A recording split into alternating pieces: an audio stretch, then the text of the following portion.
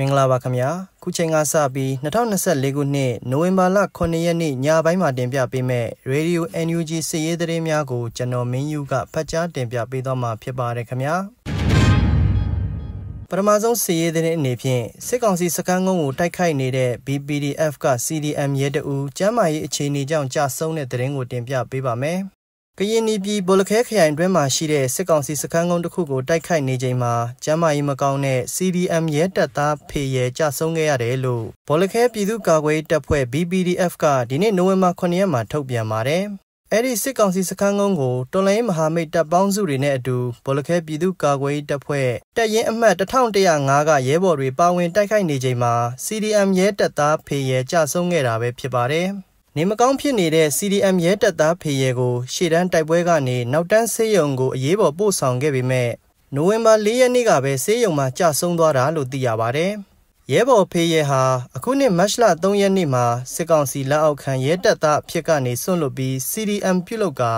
BPDF တပ်ရင်းကိုဝင်ရောက်ခဲ့ပြီးကြာရတာဝန်ကိုကျေပွန်စွာထမ်းဆောင်ခဲ့တယ်လို့ BPDF ကအတည်ပြုထားပါတယ် နိုင်ငံတော်နဲ့လူမျိုးအတွက်စွမ်းစွမ်းတမန်တိုက်ပွဲဝင်ရင်အသက်ပေးလှူခဲ့တဲ့ရဲဘော်ဖေးရဲကိုအာဇာနည်အဖြစ်အတိမတ်ပြုလေးစားဂုဏ်ယူစွာဥညွတ်အလေးပြုပါတယ်လို့ BPDF ထုတ်ပြန်ချက်မှာဖော်ပြထားပါတယ်။ဘောလခဲမြို့နယ်အတွင်းကအရေးပါတဲ့စစ်ကောင်စီစခန်းကုန်းအချို့ကိုကရင်နီတပ်ပေါင်းစုနဲ့ဒီနှစ်လယ်ပိုင်းမှာသိမ်းပိုက်နိုင်ခဲ့ပြီး12မိုင်စခန်းကုန်းနဲ့ဝမ်မလန်းစခန်းကုန်းတို့ကိုသိမ်းပိုက်ဖို့ကြံနေသေးတယ်လို့သိရပါတယ်ခင်ဗျာ။ ဒုတိယစစ်ရေးသတင်းအနေဖြင့်တရွာကို3ယောက်တပ်သားတစ်စုဆောင်းပေးဖို့နဲ့လူမပေးနိုင်ရင်တပ်သားတစ်တူအတွက်63သိန်းပေးဖို့အမိန့်ပေးတဲ့ဝေါ်မြို့နယ်အုပ်ချုပ်ရေးမှုကိုအရေးယူမယ်လို့ဝေါ်ပကဖကသတိပေးတဲ့သတင်းကိုတင်ပြပေးပါမယ်။တရွာကိုလူ3ယောက်တပ်သားတစ်စုဆောင်းပေးဖို့နဲ့လူမပေးနိုင်ရင်တပ်သားတစ်တူအတွက်63သိန်းပေးဖို့အမိန့်ပေးစေခိုင်းတဲ့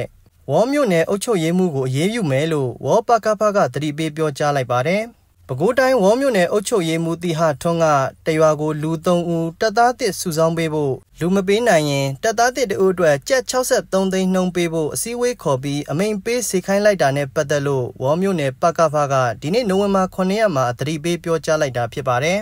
ဝေါမြို့နယ်အုပ်ချုပ်ရေးမှူးတီဟာထွန်းကဝေါမြို့နယ်အတွင်းမှာရှိတဲ့ကြေးရွာအုပ်စု64စုကအုပ်ချုပ်ရေးမှူးတွေကိုအော်တိုဘာလကုန်ပိုင်းမှာအစည်းအဝေးခေါ်ယူပြီးအခုလိုအမိန့်ပေးလိုက်တာလို့သိရပါတယ်။ စစ်မှုထမ်းဖို့အတွက်ကြေးရွာလူဦးရေအချိုးအစားလိုက်လာစဉ်လူငယ်အ ਨੇ ဆုံးတဦးကနေ3ဦးအထိတပ်သားတစ်စုဆောင်းပေးရမှာဖြစ်ပြီးစစ်မှုထမ်းဖို့လူမပေးနိုင်ရင်လူစားထိုးဖို့ရှာဖွေပေးရမယ်ထွေအုပ်ဒုဦးစီးမှုအတွက်ကြက်တသိန်းပေးရမယ်လို့အမိန့်ပေးလာတယ်လို့ဆိုပါတယ်အခုလိုဝေါ်မြို့နယ်ထွေထွေအုပ်ချုပ်ရေးမှုကအတင်းအဓမ္မစစ်သားစုဆောင်းခိုင်းတာကိုလက်မခံနိုင်တဲ့ရက်ကြီးအုပ်ချုပ်ရေးမှုတွေကတော့ယာရုကနေနှုတ်ထွက်ဖို့ပြင်ဆင်နေကြတယ်လို့သိရပါတယ် အရင်က3လတကြိမ်စစ်သားတယောက်ရှာဖွေပေးရပြီးလူရှာမပေးနိုင်ရင်အစားထိုးဖို့ကြက်သိန်း90ကောက်ခံရကအခုလကစပြီးကြက်63သိန်းအထိတိုးမြင့်လိုက်တဲ့အတွက်ရကြေးအုပ်ချုပ်ရေးမှုအများစုမကြေမနက်ဖြစ်ကနှုတ်ထွက်ဖို့ပြင်ဆင်နေကြတာလို့လည်းသိရပါဗျ။ဒါကြောင့်ဝေါ်မြို့နယ်ပကဖကမြို့နယ်အုပ်ချုပ်ရေးမှုတီဟာထွန်းအပါဝင်စစ်သားစုဆောင်းပေးနေတဲ့ရကြေးအုပ်ချုပ်ရေးမှုတွေနဲ့ဌာနဆိုင်ရာအားလုံးကိုအေးအေးယူမယ်လို့တတိပေးလိုက်တာပဲဖြစ်ပါတယ်ခင်ဗျာ။ ဆက်လက်ပြီးတောင်ကုန်းမှာတိုက်ပွဲပြင်းထန်နေပြီးစစ်ကောင်စီတပ်ဖွဲ့ဝင်3ဦးလက်နက်နဲ့ထွက်ပြေးတဲ့တဲ့ရင်ကိုတင်ပြပေးပါမယ်။ရခိုင်ပြည်နယ်တောင်ကုန်းမြို့နယ်မှာတိုက်ပွဲပြင်းထန်နေပြီးစစ်ကောင်စီတပ်ဖွဲ့ဝင်3ဦးဟာမနေ့နိုဝင်ဘာ6ရက်ညနေပိုင်းမှာလက်နက်နဲ့တကွထွက်ပြေးသွားတယ်လို့ဒေတာတွင်းသတင်းတွေကဆိုပါတယ်။တောင်ကုန်းမြို့နယ်အထွတ်ကိုင်းရှည်စစ်ကောင်စီစစ်စေးရေးဂိတ်တရားမှာတာဝန်ကျနေတဲ့စစ်သား3ဦးလက်နက်ကိုစီနဲ့ထွက်ပြေးသွားတာလို့ဒေတာတွင်းစစ်ရေးသတင်းရင်းမြစ်တွေအဆိုကိုအခြေခံပြီး Western News ကဖော်ပြပါတယ်။ အခုလိုစစ်သားတွေလက်နက်နဲ့ကွာထွက်ပြေးသွားတဲ့အတွက်စစ်ကောင်စီတပ်ဖွဲ့ဝင်တွေဟာတောင်ကုန်းမြို့နယ်အတွင်းတနက်တွေပစ်ဖောက်ပြီးလိုက်လံရှာဖွေခဲ့ပေမဲ့ရှာမတွေ့ဘူးလို့သိရပါတယ်။တောင်ကုန်းမြို့အဝင်အထွက်နေရာတစ်ခုဖြစ်တဲ့ကိုင်းရှည်တရားမှာစစ်ကောင်စီတပ်ဖွဲ့ဝင်အင်အားရာချီပြီးနေရာယူတက်ဆွဲထားတဲ့ကာကင်းတစ်ခုဖြစ်တယ်လို့သိရပါတယ်။ဒီနေ့နိုဝင်ဘာ9ရက်မနက်ပိုင်းမှာတော့စစ်ကောင်စီတပ်နဲ့ရခိုင်တပ်တော် AA တို့အကြားတိုက်ပွဲပြင်းထန်နေပြီးစစ်ကောင်စီကလေရင်နဲ့ဘုံကျဲတိုက်ခိုက်နေတယ်လို့ဒေသစစ်ရေးသတင်းရင်းမြစ်တွေကဆိုပါတယ်။ တောင်ကုန်းမြို့နယ်မှာစစ်ကောင်စီလက်အောက်ခံစကခ9တပ်မှခမရ944တပ်ရင်းခမရ346တပ်ရင်းတို့ရှိနေပြီးဒီတပ်ရင်းတွေကိုသိမ်းပိုက်နိုင်ဖို့ရခိုင်တပ်တော် AA ကထိုးစစ်ဆင်တိုက်ခိုက်နေတယ်လို့လည်းသိရပါဗျ။တောင်ကုန်းမြို့မှာရှိတဲ့စစ်ကောင်စီတပ်ရင်းတပ်ဖွဲ့တွေကိုရခိုင်တပ်တော် AA ကလနဲ့ချီဝိုင်းရန်ပိတ်ဆို့ခဲ့ပြီးနောက်အော်တိုဘာလနောက်ဆုံးပတ်ကစပြီးထိုးစစ်အရှိန်မြင့်ကတိုက်ခိုက်နေတာလည်းဖြစ်ပါတယ်။ လက်ရှိအချိန်မှာတောင်ကုန်းမြို့တွင်မှာအပြစ်မဲ့အရက်သားပြည်သူ6000ကျော်ပိတ်မိနေပြီးစစ်ကောင်စီတပ်ဖွဲ့ဝင်တွေကမြို့ပြင်ထွက်ခွင့်မပေးဘဲလူသားတိုင်းပြုနေတယ်လို့သိရပါတယ်ခင်ဗျာ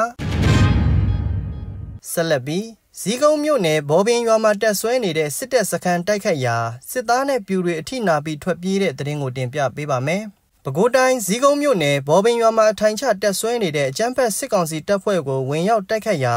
စစ်အုပ်စုဘက်ကအထိနာပြီးထွက်ပြေးသွားတယ်လို့တိုက်ပွဲဝင်တော်လှန်ရေးအဖွဲ့တွေကပြောပါတယ်။ဇီးကုန်းမြို့နယ်ဘောပင်ရွာမှာအထိုင်ချတက်ဆွဲနေတဲ့အကြမ်းဖက်စစ်အုပ်စုဟာ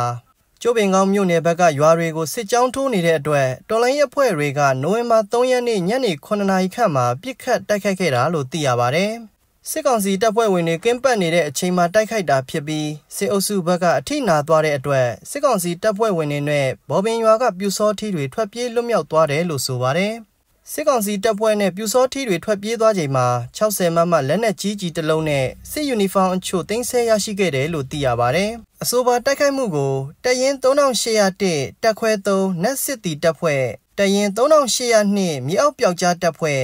BZTM GBK PDF ပကိုးရုံးမှအခြေပြုတပ်ဖွဲ့တို့ပူးပေါင်းပြီးစစ်စင်ရေးဖော်ဆောင်ခဲ့တာဖြစ်ပါတယ်ခင်ဗျာ။ ယခုနောက်ဆုံးစီရေးတဲ့အနေဖြင့်ရေစကြိုပကပကပထမဆုံးအကြိမ်တင်နန်းသားတစ်တွေခေါ်ယူတဲ့သတင်းကိုတင်ပြပေးပါမယ်။အနာဂတ်ဖက်ဒရယ်တိုင်းပြည်ထူထောင်ရာမှာလိုအပ်နေတဲ့စစ်သားကောင်းတွေမွေးထုတ်နိုင်ဖို့ရေစကြိုပကပကပထမဆုံးအကြိမ်အနေနဲ့တင်နန်းသားတစ်တွေခေါ်ယူနေပါတယ်။အကြမ်းဖက်စစ်ကောင်စီကိုတိုက်ထုတ်ပြီးအနာဂတ်ဖက်ဒရယ်ဒီမိုကရေစီတိုင်းပြည်တည်ဆောက်ရာမှာပါဝင်ဖို့လူငယ်လူလက်ပိုင်းတွေကိုတင်နန်းသားအဖြစ်ခေါ်ယူနေတာပဲဖြစ်ပါတယ်။ တင်နန်းတက်လူသူတွေဟာအသက်18နှစ်ကနေ45နှစ်ကြားအရွယ်ရှိရမှာဖြစ်ပြီးကျမ်းမာတန်ဆွမ်းတဲ့မျိုးသားတွေသာမကမျိုးသမီးတွေပါရှောက်ထားနိုင်တယ်လို့သိရပါတယ်။တင်နန်းတက်ခွင့်ရသူတွေဟာတင်နန်းဆရာတွေချမှတ်ထားတဲ့စည်းကမ်းတွေကိုလိုက်နာနိုင်ရမှာဖြစ်ပြီးတင်နန်းကာလပြီးဆုံးအောင်တက်ရောက်နိုင်ရမယ်လို့သတ်မှတ်ထားပါတယ်။တင်နန်းပြီးရင်လည်းအနည်းဆုံး3လတာဝန်ထမ်းဆောင်နိုင်ရမှာဖြစ်ပြီးရေစကြိုမြို့နယ် ရှိတဲ့တက်ခွဲတွေမှာပေးအပ်တဲ့တာဝန်ကိုကျေပွန်အောင်ထမ်းဆောင်နိုင်ရမယ်လို့ဆိုပါတယ်။ဘသူတိုက်တွန်းချက်မှမပါဘဲမိမိတို့ဆန္ဒအလျောက်တင်နန်းလာတက်နိုင်သူဖြစ်ဖို့လိုပြီးတော်လန်ရေးစိတ်တဲ့ပြင်းပြစွာနဲ့စိတ်အားထက်သန်စွာနဲ့အကြမ်းဖက်စစ်ကောင်စီကိုအပီးတိုင်တွန်းလှန်တိုက်ခိုက်လိုစိတ်ရှိသူတွေကိုဦးစားပေးခေါ်ယူมาဖြစ်တာကြောင့်နိုဝင်ဘာ10ရက်နေ့နောက်ဆုံးထားလျှောက်ထားနိုင်တယ်လို့ရေစကြိုပကဖကထုတ်ပြန်ထားပါတယ်။ တင်နန်းတက်လို့သူတွေအနေနဲ့ပြည်သူ့ကာကွယ်တပ်ဖွဲ့ရေစကြိုမြို့နယ်ပကဖလူမှုကွန်ရက်စာမျက်နှာရဲ့ Messenger ကနေစရင်ပေးသွင်းနိုင်တယ်လို့သိရပါတယ်ခင်ဗျာအခုတင်ပြခဲ့တဲ့သတင်းတွေကိုတော့ Radio NUG သတင်းတောက်ကိုခန့်မှပေးပို့ထားတာဖြစ်ပါတယ်ခင်ဗျာ